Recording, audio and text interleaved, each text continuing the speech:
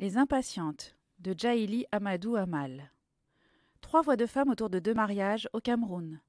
L'une d'elles, très jeune, Ramla, doit épouser un riche quinquagénaire alors qu'elle est déjà fiancée à un jeune homme qu'elle aime, quitter sa famille pour entrer dans une autre où elle sera la seconde épouse.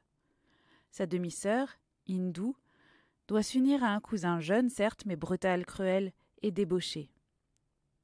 La troisième, que nous suivons, est Safira, trente-cinq ans, en souffrance de devoir partager un mari qui lui impose soudain la polygamie après vingt ans de vie commune. Un mot revient comme un mantra durant tout le roman. Munial. Patience. Patience malgré le viol, les coups, l'injustice. Car les hommes peuvent absolument tout faire subir aux femmes. Ce sont les pères, les oncles qui décident des mariages, et le mari qui régit leur existence. On pourrait penser qu'entre ces femmes désespérées naîtrait une solidarité, mais il n'en est rien. Les mères encouragent leurs filles à la docilité, qualité suprême, comme elles-mêmes ont dû s'y par peur.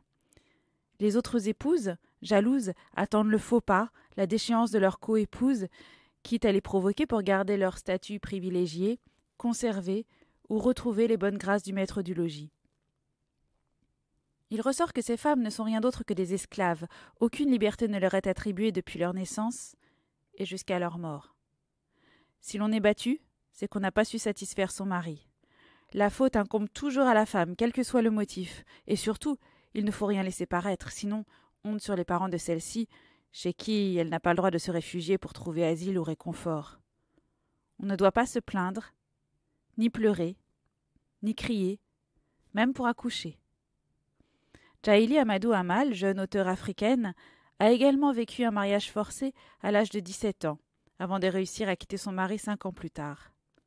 Par ce roman, elle dénonce l'enfer de la soumission féminine au Sahel, sous couvert de tradition et de religion. Elle est saluée par la presse camerounaise comme la voix des sans-voix.